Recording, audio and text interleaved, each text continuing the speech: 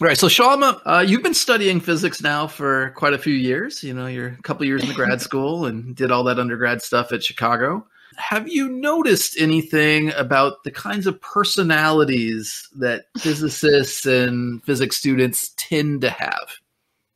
This is a dangerous question. oh, ask. I know. I know it is. That's why I'm I don't know. It. I fully want to answer.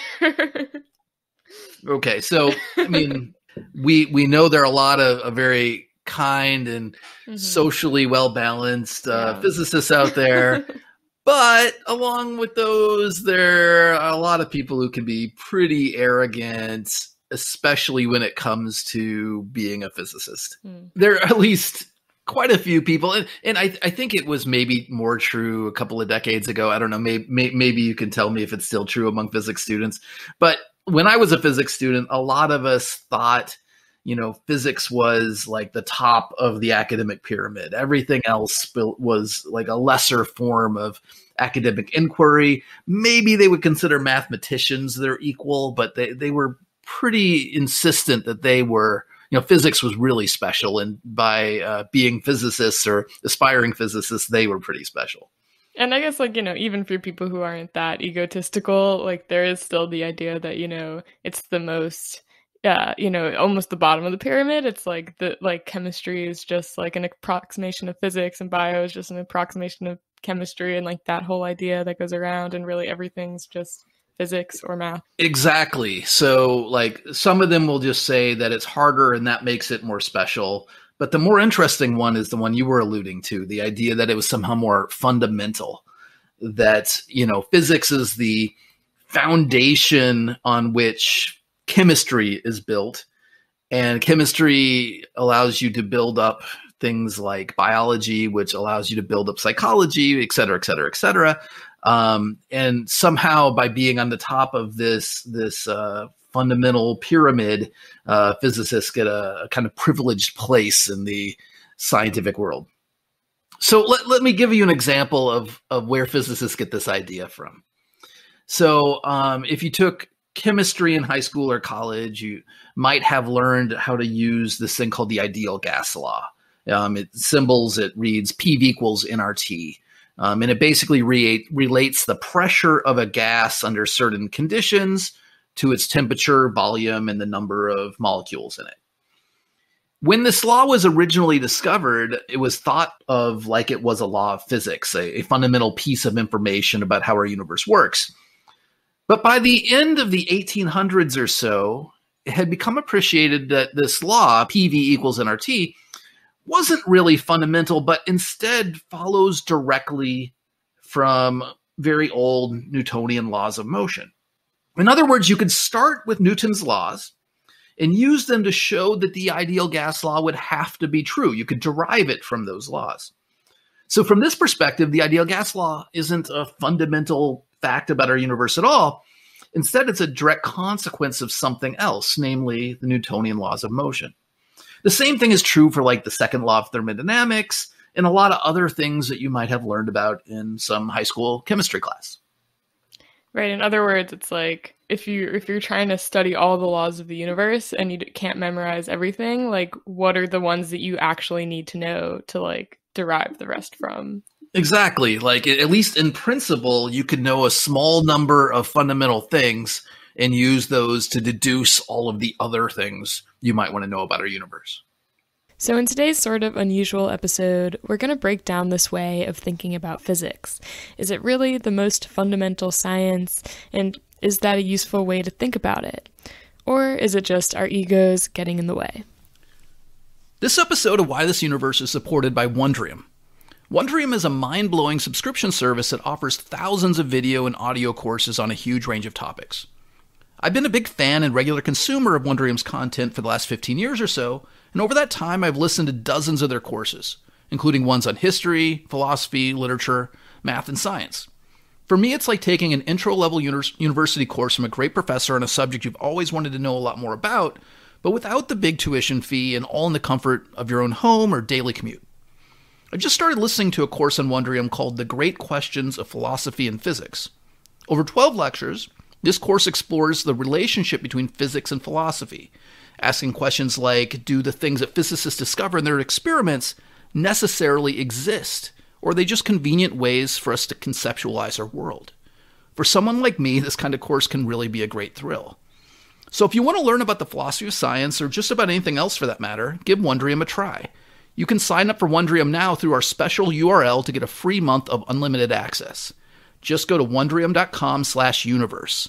That's W-O-N-D-R-I-U-M dot com slash U-N-I-V-E-R-S-E. You're listening to Why This Universe, a podcast where we break down the biggest ideas in physics. My name is Shalma, and I'm a PhD student at NYU. And I'm Dan Hooper. I'm a theoretical astrophysicist at Fermilab and at the University of Chicago.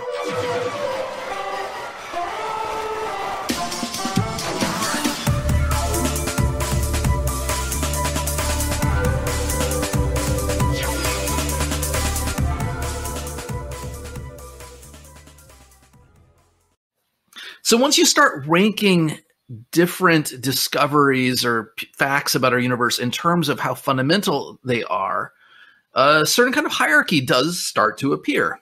At the top are certain kinds of physics, like things like general relativity and elementary particle physics. These things allow you to drive things that allow you to drive things kind of all the way down, right?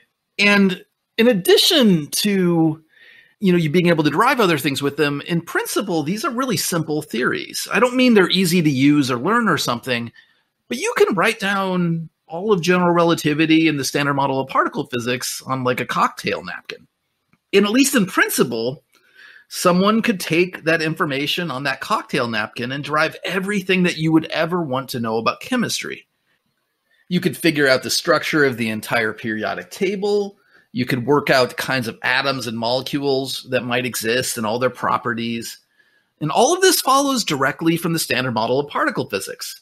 So, from this point of view, you could think of chemistry as really just an example of applied particle physics. It sounds really, really gross, right? Really arrogant, right? yeah, I'm like, I'm like holding my tongue because I know we're not. We're going to get to the point where we talk about how this is not the best way to view this. Yeah, yeah. Just just for our listeners, um, I'm finding this cringeworthy as I say these words out loud. So yeah, and I hope that you know maybe someone will be listening along and be nodding along to this part and be like, yeah, yeah, that all follows. A 23 year old version of me would have been nodding along, like, yeah, physicists are awesome. All right, so going down this chain of logic a little further, um, you could think of molecular biology as an example of or a, or a, kind of applied chemistry. You can think of cellular biology as applied molecular biology, and all the way down.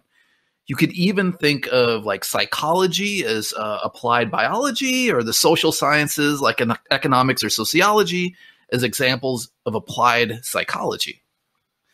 So, if you ask a philosopher what we're doing when we're thinking this way, they tell you you're being a reductionist.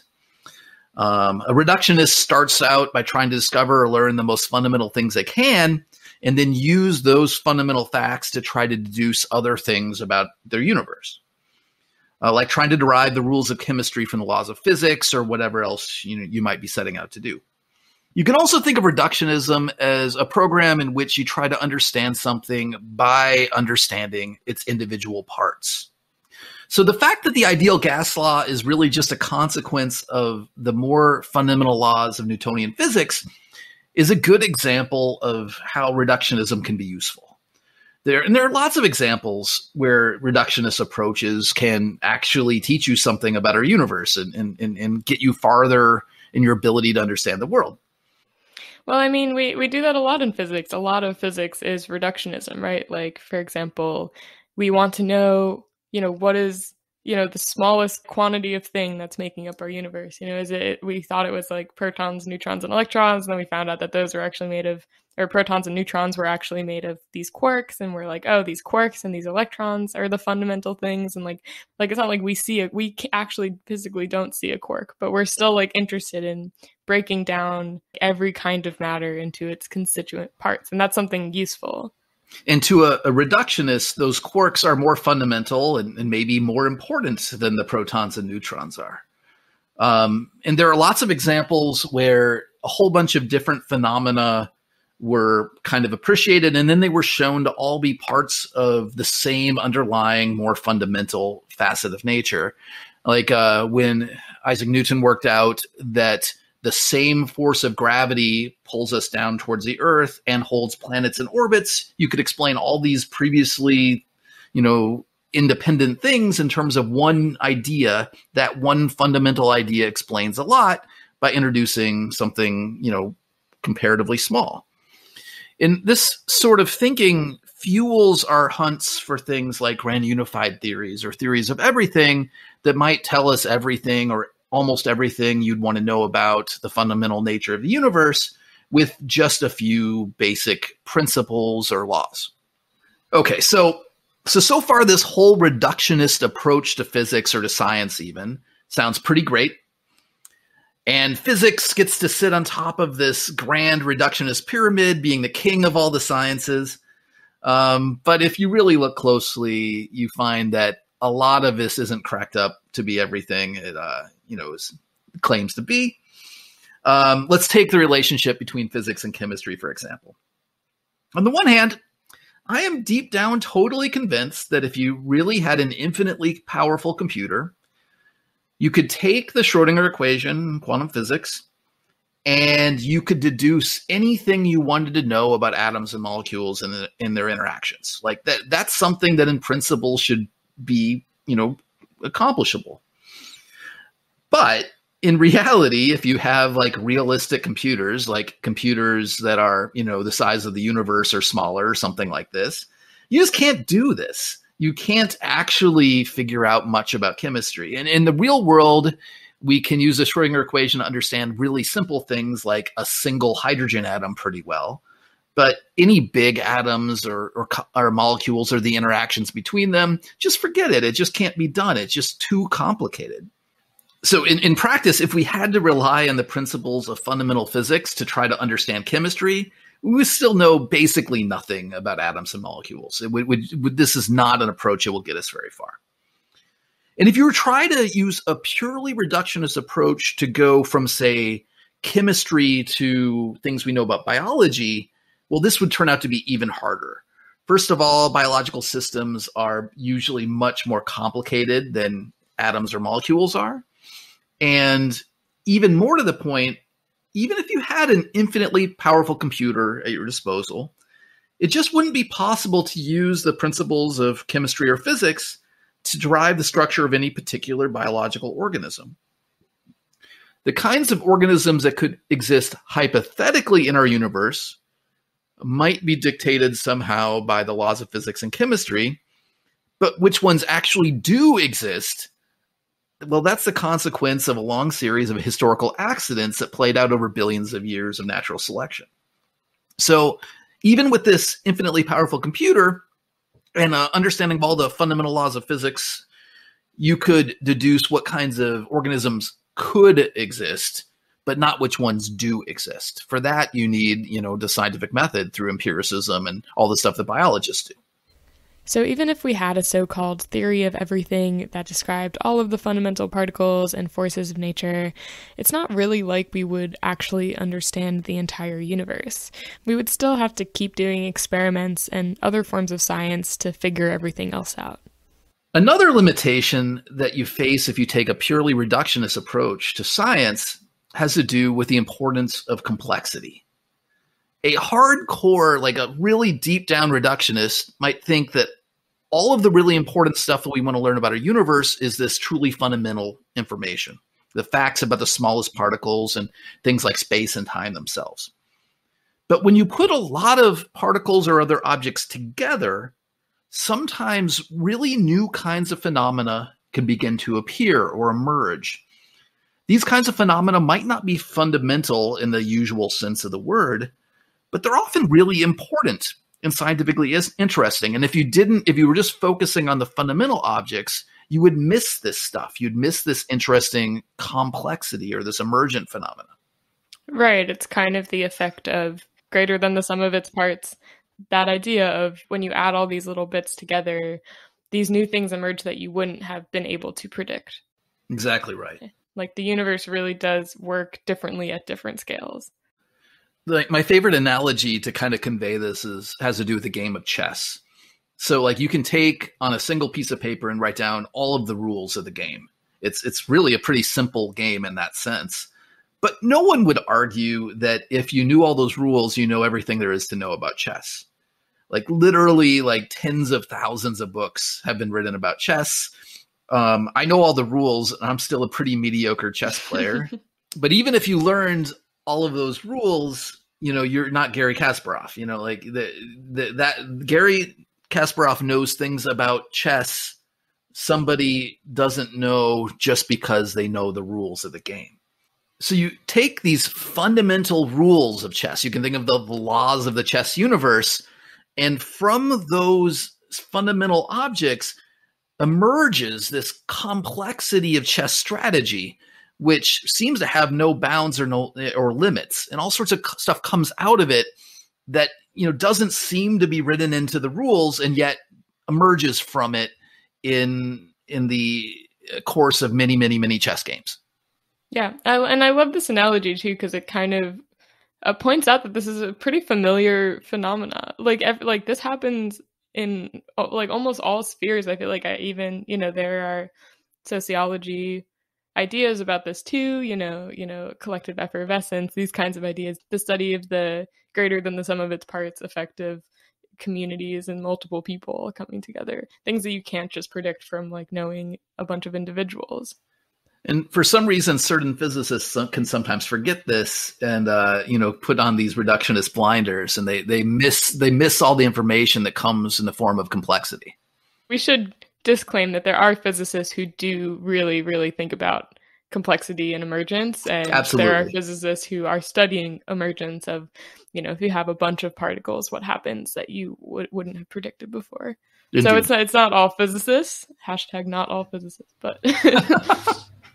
so the idea of complexity emerging from a simple set of rules comes up all the time in physics. So the ideal gas law or the second law of thermodynamics, for examples, are both things that emerge from the structure of Newtonian classical physics. Um, Newton's laws themselves don't say anything about gases and they don't have any conception of entropy built into them. But these principles that were laid down, you know, long before the ideal gas law or second law of thermodynamics were appreciated, directly lead to those relationships. And in cases like these, we can use a reductionist approach to take the fundamental laws and derive how a group of objects might act collectively.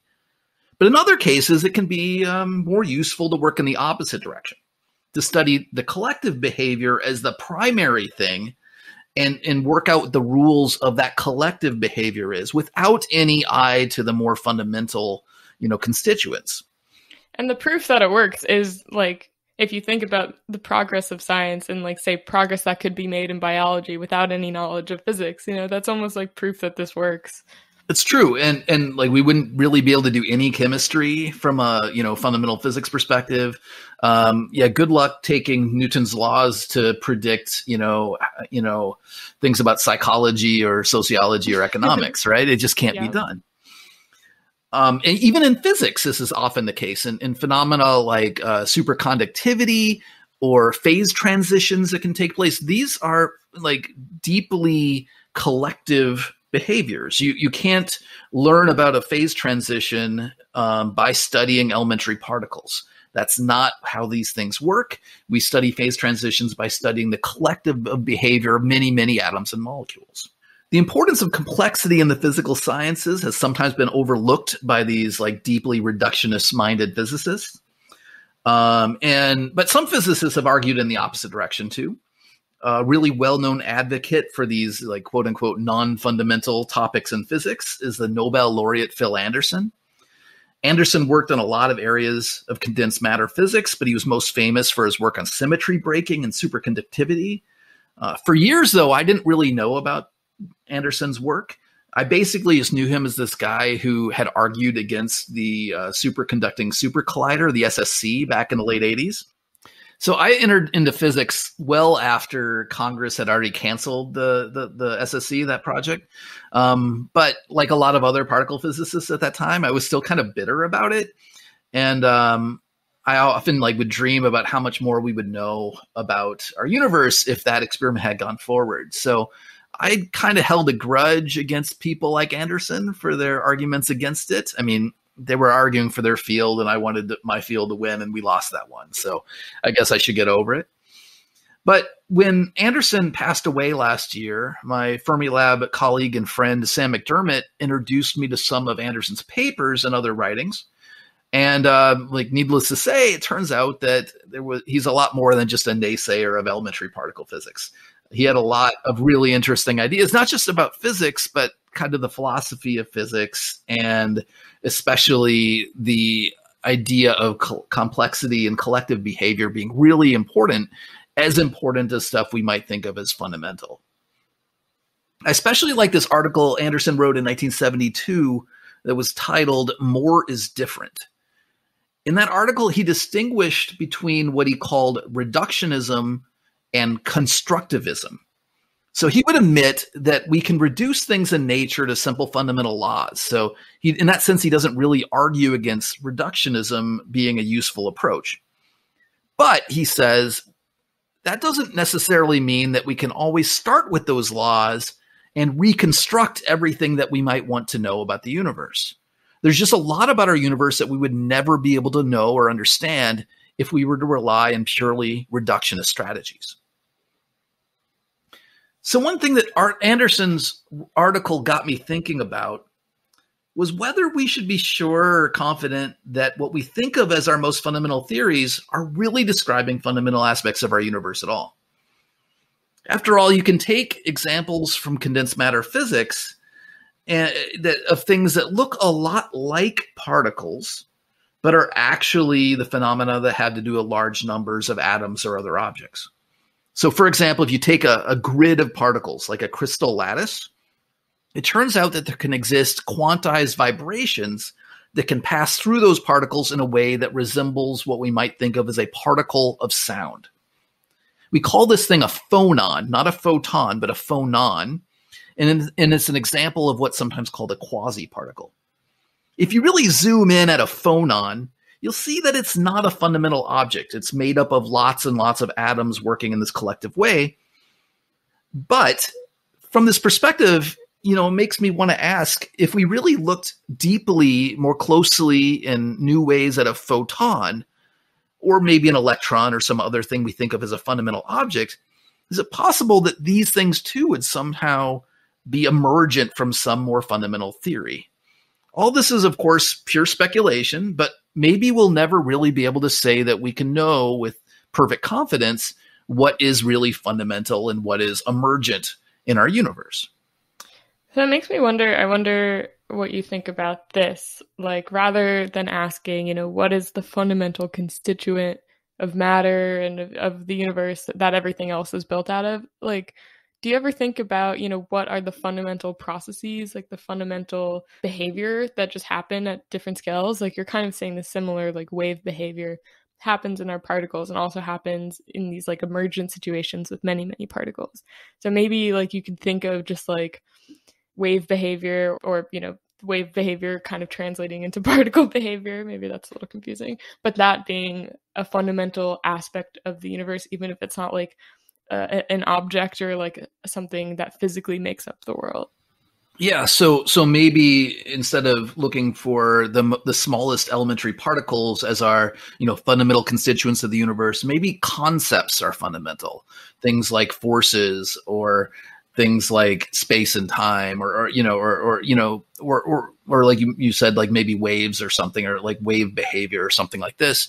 Um i don't know but my guess is if you treat any particular thing whether it be an object or an idea or a concept as purely fundamental and you really fixate on that you're probably going to miss things that don't boil down to those parts so you're saying like let go of the idea of searching for the fundamental anyway. Let's just search for everything that happens and, you know, learn more about the world and not worry about what's fundamental because maybe we don't know. Yeah, in those circumstances where reductionist approach pays off, like by all means be a reductionist. Mm-hmm. But like don't be a zealot in your reductionism. You know, occasionally be able to you know re- relax your grip on the reductionism so that you can kind of see the forest for the trees. Yeah, I also like sometimes I think about emergence itself as a fundamental process since it kind of does seem to happen at almost any scale that you look at. Like it happens in a chess game. It happens with particles. Like if you have enough particles if you it happens with you know atoms if you have enough atoms. It happens with animals if you have enough animals or people if you have enough people. Like something new always emerges once you kind of zoom out and look at a larger scale. And it, it, it makes me feel like that is it's maybe a, a less precise use of the word fundamental but i do kind of think about it that way. Yeah i'm not sure there's any definition of the word fundamental that holds up to all the scrutiny you might want to throw at it yeah. uh, but you know I, I, think there's some idea that certain certain things, whether they be concepts or objects or something, appear over and over and over again in nature, and we can use those things to kind of build up patterns and understand our universe.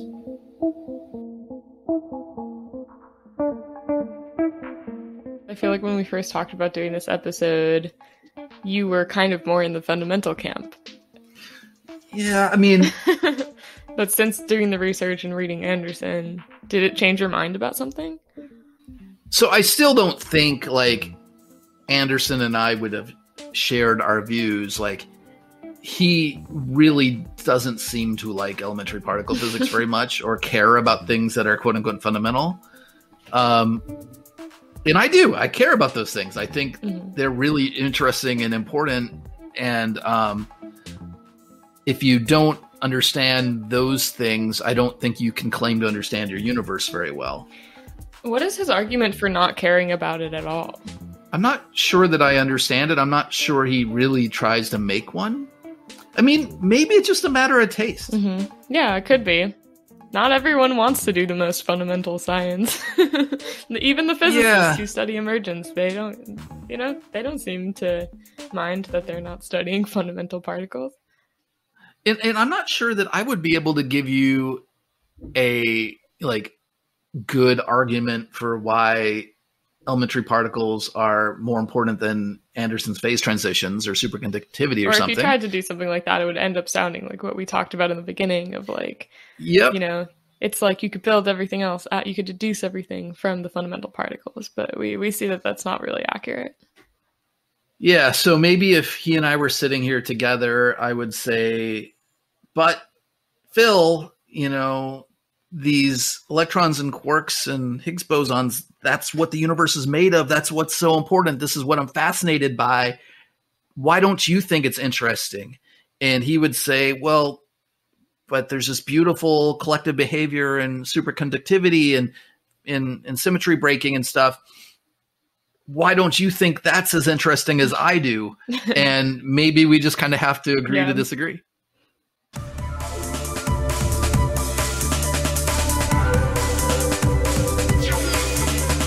Today's episode was produced and edited by me, Shalma Wegsman. My co host is Dan Hooper, a professor of astrophysics at the University of Chicago and Fermilab. Dan is also an author and has written many books, including most recently At the Edge of Time Exploring the Mysteries of Our Universe's First Seconds. Thank you for all your support and for listening to our show. If you want to support us even more, you can subscribe to our Patreon, where you can ask us questions for exclusive Ask Us Anything episodes, as well as get the ad-free versions of our regular episodes. You can find our Patreon at patreon.com slash whythisuniverse.